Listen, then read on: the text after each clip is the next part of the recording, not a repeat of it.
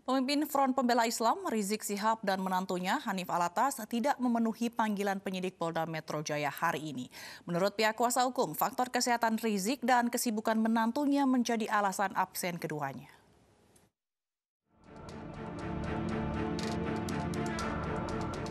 Pimpinan Front Pembela Islam FPI Rizik Sihab dan menantunya Hanif Alatas tidak memenuhi panggilan pertama penyidik di Treskrimum Polda Metro Jaya untuk memberikan keterangan sebagai saksi atas kasus kerumunan massa yang terjadi di kawasan Petamburan pada acara Maulid Nabi dan pernikahan Putri Rizik 14 November lalu.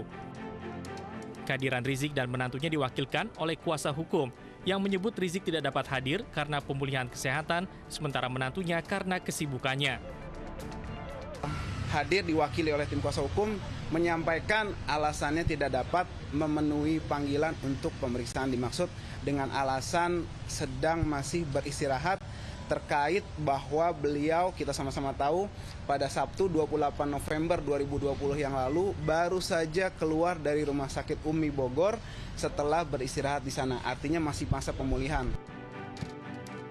Polda Metro Jaya rencananya akan kembali memanggil Rizik Sihab dan menantunya pada Kamis 3 Desember 2020. Kalau memang tidak ada, malam ini akan kita layangkan lagi panggilan yang kedua terhadap MRS dan juga MHA, menantu dari saudara MR sendiri.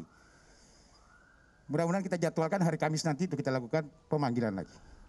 Ya, panggilan yang kedua untuk bisa mudah-mudahan yang bersangkutan bisa hadir untuk memenuhi panggilan dari penyidik Krim Um Polda Metro Jaya.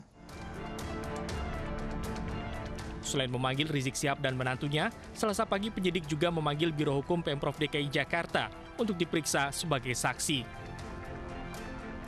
Dari Jakarta, Pangeran Negara Bayu Lela Muhammad Firmansyah, iNews melaporkan.